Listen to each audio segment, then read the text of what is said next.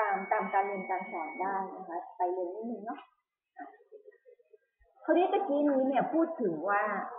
y ทั้งสอง y ทั้ง n ตัวจะต้องเป็นอิสระต่อกันใช่ไหมแล้วเรารู้ได้ยังไงว่าฟังก์ชันเหล่านั้นมันเป็นอิสระหรือไม่เป็นอิสระต่อกันนะคะเขาก็มีคำพูดง่ายๆให้คุณฟังนะคะ ถ้ามันเป็น linearly dependent linearly dependent ก็คือ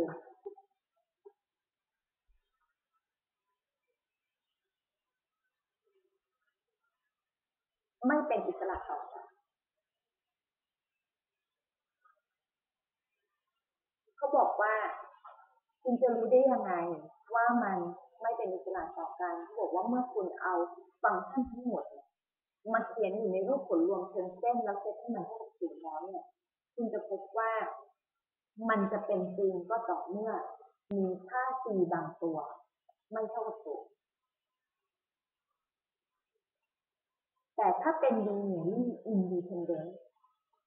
ก็คือเป็นอิสระต่อกันคือกรณีที่เราต้องการ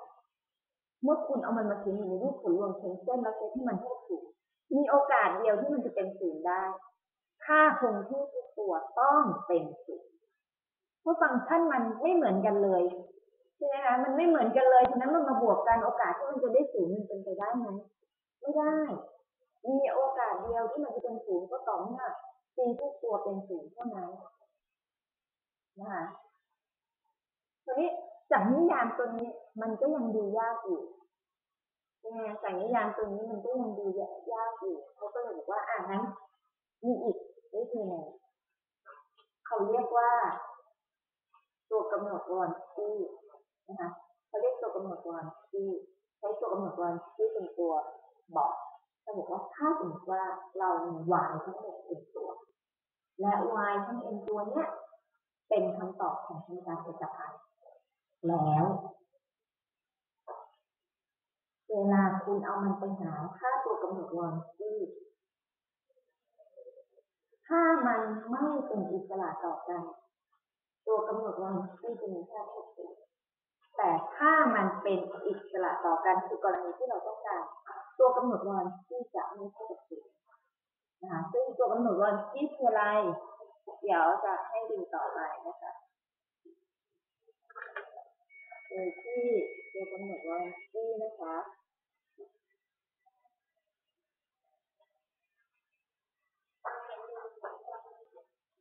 ลงทำไหมคะทำไหมลงอีก อีกตั้งแต่ต้นเลยแล้วมั้ง หัวล้อเลย พอยังคะหรือต้องลงอีก อ๋อโอเค ถ้ามันเหลืออีกแค่สองบรรทัดเนี่ยถ้าให้ลงอีกเนี่ย ก็คือเริ่มต้นแล้วแหละเพราะสองตัวแค่สองบรรทัดจริง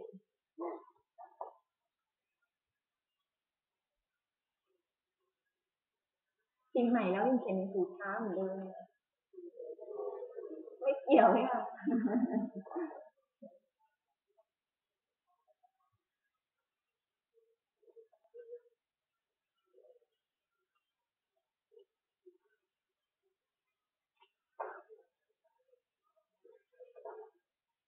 ซึ่งตัวตัวที่อาจารย์จะใช้เยอะเนี่ยก็คือตัวกำหนดวันที่แต่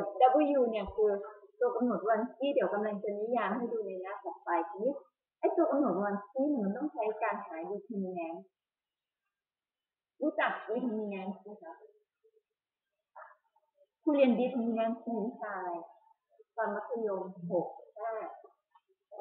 ห้าหกจำไม่ได้บางคนก็เรียนห้า สมัยอาจารย์จะเรียนตอนม .6 สมัยคุณน่าจะเรียนตอนม .5 เพราะม .6 เลิกเรียนแล้ว เขาอัดความรู้มาไว้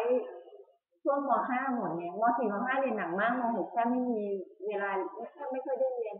ไปออกจะเน้นกิจกรรมมากกว่าอย่างนี้อะตัวหนูว่าที่เรียนอยู่ในวิชาอะไรคะเอ้ยไม่ใช่ตัวเอ่อตัว determinant เรียนอยู่ในวิชาอะไรคะ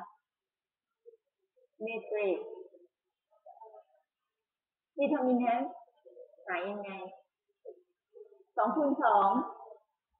เออเอออย่างนั้นน่ะ เหมือนจะใช่เลยเขาบอกคุณว่าหายใช่ไหมหายไงนะ คุณลงเป็น คุณลงเป็นบวก คุณขึ้นเป็นลบสองคูณสอง ถ้าสามคูณสาม เหมือนกันก็ยังใช้คูณลงเป็นบวก แต่จะต้องเพิ่มไปอีก สองแถวเก่งมาก แล้วสี่คูณสี่ทำยังไง ต้องหาไมเนอร์ใช่ไหมคะ เลือกแถวใดแถวหนึ่ง เลือกแถวใดแถวหนึ่งหรือคอลัมน์ใดคอลัมน์หนึ่งใช่ไหมคะ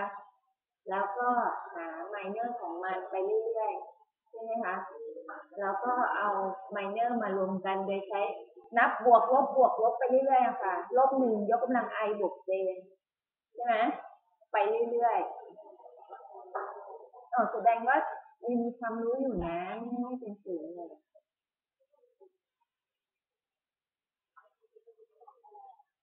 คราวนี้จะหา determinant ได้เมตริกต้องเป็นเมตริกลักษณะไหนเท่านั้นคะ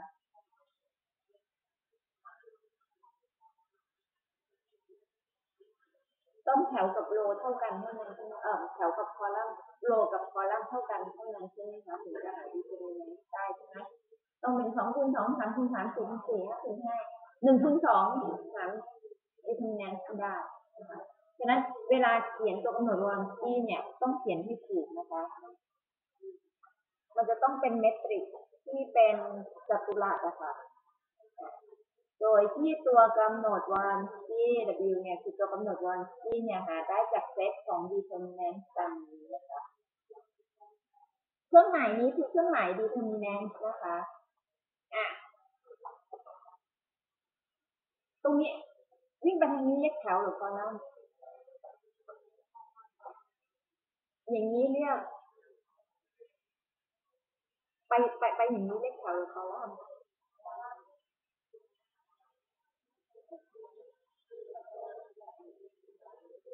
อะคนนึงเรียกแถวคนนึงเรียกคอลัมน์ทางนี้เรียกอะไรอะทางนี้เรียกโร อะด้านนี้เรียกโรด้านนี้เรียกคอลัมน์อะทางโรนะคะทางโรคุณไล่ไปเลยคำต่อของคุณ y ทั้ง n ตัว ฟังก์ชันทั้ง n ฟังก์ชันไล่ไปเลยโรที่หนึ่ง first row ใช่ไหม second row dip ครั้งที่หนึ่ง third row dip ครั้งที่สอง ไปเรื่อยๆจนถึง last row dip ครั้งที่ n ลบหนึ่งฉะนั้นคุณก็ดูว่า n ของคุณเท่ากับเท่าไหร่ ถ้า n ของคุณเท่ากับสองอ่า ตัวนี้คุณจะได้เมตริก n คูณ n ถูกไหมคะฉะนั้นถ้า n ของคุณเท่ากับสองคุณได้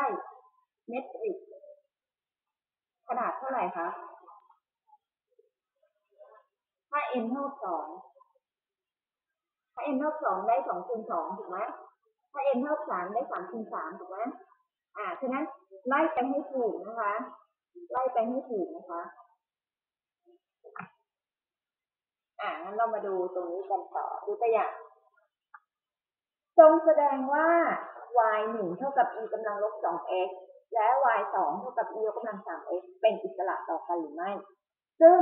y หนึ่งและ y สองตัวนี้มาจากตัวอย่างที่แล้วถูกไหมคะ ที่มันเป็นคำตอบของสมการเชิงอนุพันธ์ที่เราทดสอบแล้วว่าเป็นจริง แล้วจะบอกว่าอะ สองตัวนี้เนี่ยเป็นอิสระต่อกันคุณฉะนั้นคำตอบของสมการเอกพันธ์นั้นน่ะ คุณเอา y ทั้งสองตัวนี้มาเขียนอยู่ในรูปผลรวมเชิงเส้นได้เลย ตอนนั้นยังไม่ได้สอนคุณเลยว่า แล้วอัดแล้วเราจะรู้ได้ยังไงว่ามันเป็นอิสระต่อกันหรือไม่ ตอนนี้เราจะลองใช้ตัวกำหนดวอนที่ในการพิสูจน์ว่า y ทั้งสองตัวนี้เนี่ยเป็นอิสระต่อกันหรือไม่ มันควรจะเป็นอิสระต่อกันเพราะเราจับมันไปเขียนอยู่ในรูปผลรวมเชิงเส้นแล้วนะคะ ฉะนั้นถามว่าตัวกำหนดวันที่ตัวนี้ถ้าเราเขียนเป็นเอ่อเขียน determinant เนี่ยจะได้เป็นเมตริกเท่าไหร่คะตอนนี้มี y กี่ตัวสองตัว ฉะนั้นได้เมตริกสองคูณสองนะฉะนั้น row แรก first row ของเรา คุณก็เขียน y หนึ่งและ y สอง second row ของเราหรือ last row ของเราก็คือ y dip ทั้งที่ n ลบหนึ่ง n เท่ากับสองสองลบหนึ่งเหลือหนึ่งฉะนั้นจะจบลงที่ dip ทั้งที่หนึ่งจากนั้นคุณก็แทนค่าลงไป y หนึ่งเท่ากับ e กำลังลบสอง x y สองเท่ากับ e ยกกำลังสาม x ฉะนั้น row ที่สองอนุพันธ์ครั้งที่หนึ่งของ y หนึ่ง y หนึ่งคือ e กำลังลบสอง x อนุพันธ์ครั้งที่หนึ่งของ y หนึ่งคือ y หนึ่งคือ e กำลังลบสอง x อนุพันธ์ครั้งที่หนึ่งของ y หนึ่งคือลบสอง e กำลังลบสอง x แล้วอนุพันธ์ครั้งที่หนึ่งของ y สองนะคะสาม e ยกกำลังสาม x จากนั้นคุณก็หา determinant ได้เลยนะคะ คุณลงเป็นบวกคุณขึ้นเป็นลบหาออกมาได้เท่าไหร่คะ determinant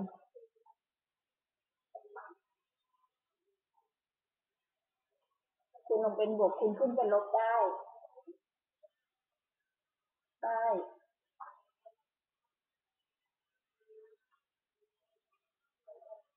ได้ห้า e กำลัง x ใช่ไหมถูกไหมคะคุณลงได้สาม e กำลัง x คุณขึ้นได้ลบสอง e กำลัง x แต่คุณขึ้นเป็นลบลบเจอลบเป็นบวก ก็ได้เป็นห้า e กำลัง x ซึ่งไม่เท่ากับศูนย์แสดงว่า y หนึ่งและ y สองเป็นยังไงคะ ได้ตัวหนดวยบอลที่ออกมาแล้ว ไม่เท่ากับศูนย์แสดงว่า y ทั้งสองตัวเป็น อิสระต่อกันฉะนั้นถ้า y หนึ่งและ y สองตัวนี้เป็นคำตอบของสมการ differential ปุ๊บคุณเอามันมาเขียนในนี้ด้วยผลรวมเชิงเส้นได้เลย ซึ่งเราทำเสร็จไปเรียบร้อยแล้วนะคะแต่ตัวนี้แค่เอามาใช้วอลที่เป็นตัว พิสูจน์ว่ามันเป็นอิสระต่อกัน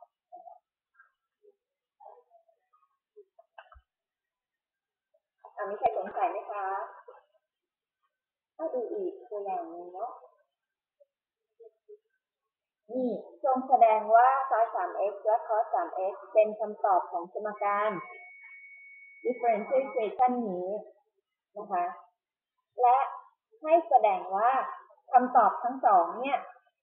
เป็นอิสระต่อกันหรือไม่ ถ้าเป็นอิสระต่อกันแล้ว ให้เขียน